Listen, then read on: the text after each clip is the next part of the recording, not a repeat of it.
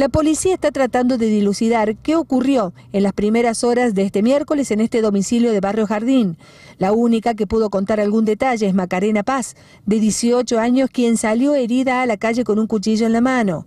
En el interior del departamento de Richieri, el 3200, se encontró el cuerpo sin vida de Pablo Heredia, de 59 años. Y debe haber sido entre las 7 y media y las 8. Bien, bien, exacto, no te sabría eso. Este, pedí auxilio de que decía que había perdido mucha sangre y tenía una, una herida a la altura del corazón, por ahí. ¿Y el señor que estaba dentro, porque aparentemente está muerto? Eh, sí, sí, muerto, ya lo, lo sacó policía judicial y dicen que era la pareja, pero no, la verdad que eso lo desconozco.